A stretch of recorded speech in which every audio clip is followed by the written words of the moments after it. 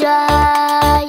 أختي الشطورة فرحها معاي.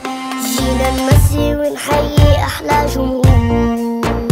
ونقول لكم يا حلو